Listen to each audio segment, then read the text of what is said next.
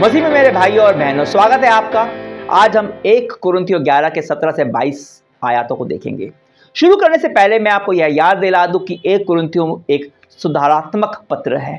पॉलुस कुरुंतियों मंडली में व्याप्त समस्याओं को सुधारने की कोशिश कर रहा है और इसलिए इसमें से सीखना और सिखाना दोनों कठिन है। अब ज़ाहिर है, न किसी को डांट खाना पसंद है, न कि डांटना। यह किताब पढ़ते हुए यह भी ध्यान देना ज़रूरी है कि यह हमारे परमेश्वर के साथ संबंध के बारे में उतनी नहीं है। पर यह हम विश्वासियों के आपसी संबंध के बारे में अधिक है। अगर हमने परमेश्वर के प्रेम का अनुभव किया, उसका अनुग्रह पाया है तो उसके चलते हमारा रवैया एक दूसरे की तरफ़ कैसा हो? कैसे हम प्रेम करें? पौलुस ने बात की, कैसे हम प्रेम वश अपने अधिकारों को त्यागते हैं? कैसे अपनी स्वतंत्रता का लाभ उठाते हैं? सुसमाचार और परमेश्वर के प्रेम को दूसरे तक कैसे लेकर जाते हैं?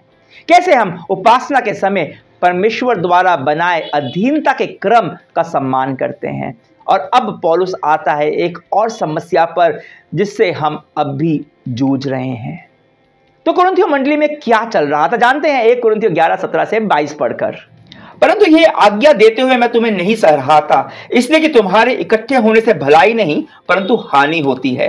क्योंकि पहले तो मैं यह सुनता हूँ कि जब तुम कलीसिया में इकट्ठे होते हो तो तुम में फूट होती है, और मैं इस पर कुछ कुछ विश्वास भी करता हूँ। क्योंकि दलबंदी भी तुम में अवश्य होगी, इसलिए कि जो लोग तुम में खड़े हैं, वे प्रकट हो जाए। अतः तुम जो एक जगह में इकट्ठे होते हो तो यह प्रभु बोझ खाने के लिए नहीं क्योंकि खाने के समय एक दूसरे से पहले अपना भोज खा ले, लेता है। इस प्रकार कोई तो भूखा रहता रहता है, कोई मतवाला हो जाता है। क्या खाने पीने के तुम्हारे घर नहीं? या परमेश्वरी कलिसिया को तुच्छ जानते हो और जिनके पास नहीं है, उन्हें लज्जित करते हो? मैं तुमसे क्या कहूँ? क्या इस बात में तुम्हारी प्रशंसा करूँ? नहीं, मैं प्रशंसा नहीं करता। जो कुछ भी मंडली में चल रहा था, पॉलुस उस बात को लेकर प्रशंसा नहीं कर सकता। जब विश्वासी एक साथ इकट्ठे होते हैं तो उसमें भलाई होती है। हम विश्वासी इसलिए इकट्ठे होते हैं, जिसलिए एक साथ मिलकर हम प्रभु की आराधना करें, एक दूसरे की सेवा करें, एक दूसरे का निर्माण करें, एक दूसरे को प्रोत्साहित करें, एक दूसरे को एहसास दिलाए कि हम एक ही देह का अंग हैं। हम एक ही परिवार के सदस्य हैं, चाहे हम में भिन्नता हो। पर कुरंथियो मंडली के लिए पॉलुस कहता है सत्रह आयात में कि उनके इकट्ठे होने से भलाई नहीं, पर हानि होती है। क्यों? अठारह आयात में यह सुनता हूँ कि जब तुम कलिसिया में इकट्ठे होते हो तो तुम में फूट होती है। उनमें दलबंदी होती है, उनमें विभाजन था। पर यहाँ दलबंदी का कारण आपसी मतभेद नहीं था, पर वे लोग अब भी आपस में सामाजिक तौर में बटे हुए थे। इन आयातों का थोड़ा सा परिप्रेक्ष्य में आपको बता दूँ। पहला, कुरुंथियो मंडली में दो सामाजिक तबके के लोग थे। अधिकतर गरीब दास थे और कुछ थे जो संभ्रांत थे। उन दिनों मिडिल क्लास नहीं हुआ करती थी। या तो कुछ अमीर थे या कुछ गरीब। उस समय प्रभु भोज आज के प्रभु भोज से काफ़ी अलग हुआ करता था। उस समय प्रभु भोज से पहले एक बड़ा भोज होता था। जिसे अगापे भोज या आप प्रीति भोज कह सकते हैं। हर समस्या हर सप्ताह यह होता था, जब विश्वासी उपासना के लिए इकट्ठे होते थे। और क्योंकि उस समय कलिसिया की बिल्डिंग तो होती नहीं थी तो वे लोग किसी ना किसी के घर पे ही मिला करते थे। और सब कोई कुछ ना कुछ लेकर आते, खाने के लिए, भोज के लिए। जैसे कोई रोटी ले आया, कोई मांस ले आया, कोई सब्ज़ी ले आया, कोई दाल ले आया, कोई दाखरस ले आया। और फिर वे लोग सब उसे मिलकर खाते पीते। और अंत में थोड़ी सी रोटी और थोड़ा सा दाखरस से वे लोग प्रभु भोज लेते। इसके पीछे आत्मिक सिद्धांत यह था कि जब हम एक साथ रोटी तोड़ते हैं, एक साथ खाते हैं तो हम एक हो जाते हैं। यही कारण है कि एक यहूदी अन्य जाति के साथ कभी भी खाना नहीं खाया करता था, क्योंकि ऐसा करने से वह दोनों उसके साथ वह एक हो जाता अन्य जाति के साथ। पर यीशु मसीह में न तो कोई यहूदी है, ना कोई अन्य जाति, ना कोई स्त्री, ना कोई पुरुष, ना कोई दास, ना कोई स्वाधीन, ना कोई अमीर, ना कोई गरीब। हम सब एक हैं। और इसलिए उस समय प्रभु भोज एक पूरे भोज का हिस्सा हुआ करता था। और आप समझ ही सकते हैं कि यह किसी संभ्रांत विश्वासी घर में हुआ करता होगा। क्योंकि दासों के तो ऐसे घर होते नहीं थे जहाँ पे लोग इकट्ठा हो सकें। और अधिकतर भोजन भी जो था, वो लोग संभ्रांत, अमीर लोग ही लाते होंगे। पर पड़ोसों खबर मिलती है कि कुछ लोग शायद भोजन पर इस प्रकार टूट पड़ते हैं कि वे लोग ही सारा का सारा भोजन खा जाते हैं। यहाँ तक कि अधिक दाखरस पीने से मतवाले हो जाते हैं। अब मैं आपको दाखरस उस समय सिर्फ़ अंगूर का रस नहीं होता था। वाइन जिसको बोलते हैं अंग्रेज़ी में वो होता था, जो कि आपका, जो आपका फर्मेंटेड होता है, जिसमें अल्कोहल होता है। वही कुछ लोगों के लिए कुछ बचता ही नहीं था। कुछ लोग तो खाद पी के मतलब वाले हो गए, एकदम कुछ लोग बचा ही नहीं। अब आपको अनुमान लगाने में कठिनाई नहीं होगी कि जिन लोगों के लिए कुछ बचता नहीं होगा, वे लोग गरीब, दास तबके के विश्वासी होंगे।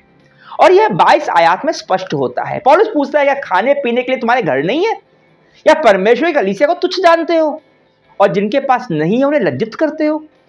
संभ्रांत विश्वासियों का अपना ही दल बना लिया हो, बना लिया होगा। और वे लोग उसमें गरीबों को घुसने नहीं देते होंगे। हम लोग प्रिविलेज्ड है। हमारे पास विशेषाधिकार है। और आज भी कलीसिया में ऐसा होता हुआ दिखता है। मैं समझ सकता हूँ कि जो लोग एक में एक नहीं होते, एक ही सामाजिक तबके के होते हैं, उनकी पसंद, पहनावा, शौक सब कुछ एक होता है, वो उनकी दोस्ती अधिक जल्दी हो जाती है। पर दल बना लेना, ग्रुप, और फिर उस दल को एक अभेद किला बना लेना, जिसमें कोई और प्रवेश कर नहीं सकता, कोई घुस नहीं सकता, जो उनसे अलग है। यह संसार के, संसार में आम सी बात है पर यह मसीही आचरण नहीं है। मसीह में सब एक है और हम सब एक देह का सदस्य हैं। अब कुरुंतियों मंडली में ऐसा नहीं था और इस बात की खबर पौलुस को लगती है और वह कहता है कि इस पर मैं कुछ कुछ विश्वास भी करता हूँ। और 19 आयात में वह कहता है कि यह थोड़ा सा भ्रम में डाल सकता है। वह कहता है, क्योंकि दलबंदी भी तुम में अवश्य होगी, इसलिए कि जो लोग तुम में खड़े हैं, वे प्रकट हो जाए। इस आयात को दूसरा अनुवाद कॉमन लैंग्वेज में इस प्रकार से है, आप लोगों में फूट होना एक प्रकार से अनिवार्य है, जिससे यह स्पष्ट हो जाए कि आप में कौन लोग खरे हैं। पॉलुस यहाँ इस प्रकार की फूट को अनिवार्य बता रहा है। वह ऐसा नहीं कहता कि यह फूट अच्छी है, पर वह कहता अनिवार्य है अवश्य है। क्यों? क्योंकि इस प्रकार की विभाजन यह प्रकट करता है कि कौन सच्चा खरा विश्वासी है और कौन नहीं। देखिए, दलबंदी होने के पीछे का कारण क्या होता है? स्वार्थ और घमंड। जो लोग अपना दल बनाते हैं, वे लोग किसी भी कारण से यह सोचते हैं कि हम दूसरों से बेहतर हैं, हमारे पास विशेष अधिकार होने चाहिए। दूसरा, जो उनसे भिन्न है, उन अधिकारों का योग्य नहीं है। हमें बैठने के लिए बेहतर स्थान चाहिए, हमें पहले भोजन परोसा जाए, हमें अधिक सम्मान मिले। क्योंकि, जी, हमें लगता है हम दूसरों से अलग और बेहतर है। जबकि हमारा मसीह में विश्वास हमें यह सिखाता है कि हम दूसरों को अपने से बेहतर समझें, दूसरों के हित को पहला स्थान दें, खास तौर से उन लोगों को जो शायद से हमारे जितने भाग्यशाली नहीं हैं। आप पूरी बाइबल उठाकर देख लीजिए, परमेश्वर गरीबों को सताए हुए, कुचले हुए लोगों के साथ हमेशा है। और अगर हम मसीह विश्वासी हैं, उसी परमेश्वर की आत्मा हम में है तो हमारी प्राथमिकता भी वे लोग ही होने चाहिए जिनके पास कुछ नहीं है। पर अफसोस, हम आज भी उन्हें लज्जित करते हैं। हमारे देश में और बाहर भी विश्वासियों ने खुद को जात पात के नाम पर सामाजिक हैसियत के अनुसार, रंग के अनुसार बांट रखा है। एक रिपोर्ट बताती है कि भारत में चौहत्तर परसेंट विश्वासी खुद को नीची जाति का मानते हैं। जाति? मसीह विश्वासियों में जाति कहाँ से आ गई? जाति प्रथा से परेशान कई दलित समानता की चाहत में तो मसीही बने थे, परंतु ऊँची जाति से आए विश्वासियों ने इनसे मतभेद जारी रखा। अब जानते तमिलनाडु में ऐसे चर्च है जहाँ दलित विश्वासियों को ऊपर बेंच या कुर्सी पर बैठने नहीं दिया जाता, उनको अनुमति नहीं है। एक ही कलीसिया में उन्हें ज़मीन पर बैठना पड़ता है। कुर्सियाँ ऊँची जातियों के विश्वासियों के लिए आरक्षित है। खेत की बात है। उन्हें कलीसिया के कई कार्यक्रमों में अलग रखा जाता है। उन्हें नेतृत्व का मौका नहीं दिया जाता। शादी करते समय भी विश्वासी एक दूसरे की जाति देखते हैं। यह अफसोसजनक है, पर सच्चा है। सच है ये। पाश्चात्य देश में भी ऐसा है। गोरों की मंडली अलग, कालों की मंडली अलग। क्यों? गोरों की मंडली में काले विश्वासियों का सम्मान नहीं होता। पॉलुस कहता है कि यह इस तरह का विभाजन हमें यह दिखाता है कि कौन सच्चा विश्वासी है। जब हम प्रभु भोज लेते हैं तो हम इस आत्मिक सच्चाई की अभिव्यक्ति करते हैं कि हम मसीह के साथ एक हुए हैं और उसके देह का हिस्सा हैं। और इसलिए हम सब एक हैं। कोई छोटा या बड़ा नहीं, अमीर या गरीब नहीं, परंतु इस तरह का विभाजन आज तक हम कलीसिया से हटा नहीं पाए हैं। और हम जब इस रवैये के साथ प्रभु भोज लेते हैं। तो पॉलुस कहता है, बीस आयात में कि वह प्रभु भोज कहलाने योग्य नहीं होता। क्योंकि इस तरह का मनोभाव कलीसिया के लिए और हमारे लिए परमेश्वर की योजना के बिल्कुल विरुद्ध है। पौलुस ने 22 आयात में कहा कि क्या तुम परमेश्वरी कलीसिया को तुच्छ जानते हो? क्या है परमेश्वरी कलीसिया?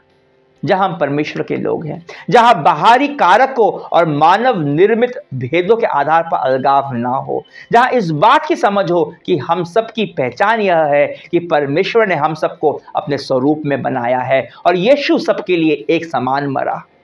पर जब हमारे आचरण में यह समझ प्रकट नहीं होती, पर हमारा घमन और स्वार्थ प्रकट होता है तो इसका अर्थ यही है कि हम परमेश्वर कलिसिया को तुच्छ जान रहे हैं। उसके बलिदान को तुच्छ जान रहे हैं, जो हम सबको एक करता है। और इसके बारे में पॉलुस आगे के आयातों में बात करने वाला है। मैं आपको चुनौती देता हूँ, अपने मन को जांचिए। आपके घर में जो काम करने वाला आता है, या आती है, आपका रवैया उसके प्रति क्या है? अगर कोई आपको, आप सामाजिक तौर से मेरे बराबर नहीं है तो उसके बारे में आपकी क्या सोच है? आपको क्या लगता है कि यह उसके कर्मों का फल है?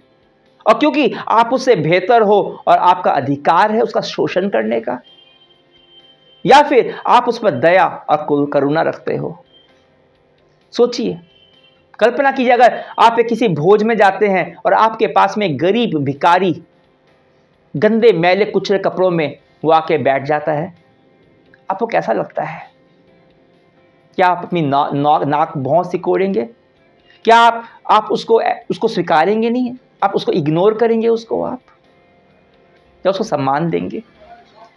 जो किसी और को देते मैं जानता हूँ कि ये सवाल चुभने वाले हैं, पर यह हमारे हृदय की स्थिति को उजागर करते हैं। प्रार्थना कीजिए कि पवित्र आत्मा आपको बदले। आप और मैं हर मनुष्य को परमेश्वर की नज़रों से देखने पाए, न कि मनुष्य के बनाए बाहरी मापदंडों से जो हम में भेद करता है। हम हर मनुष्य की सेवा करें, उसे मसीह के प्रेम से गले लगाएँ, अपनाएँ। यह अनुग्रह परमेश्वर हमें दे, तभी हम सच्ची कलीसिया बन पाएँगे। इस संसार में नमक ज्योति बन प्रभाव डाल पाएँगे। कल हम प्रभु भोज के बारे में और उसके महत्व को और गहराई से समझेंगे। कुरंतियों ग्यारह, तेईस से छब्बीस में कल तक के लिए अनुमति दीजिए। परमेश्वर का प्रेम, यीशु मसीह का अनुग्रह और पवित्र आत्मा की संगति में बने रहिए। आमीन।